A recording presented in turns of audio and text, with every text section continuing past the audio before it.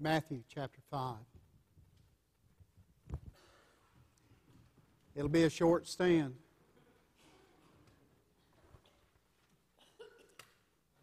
Verse 4.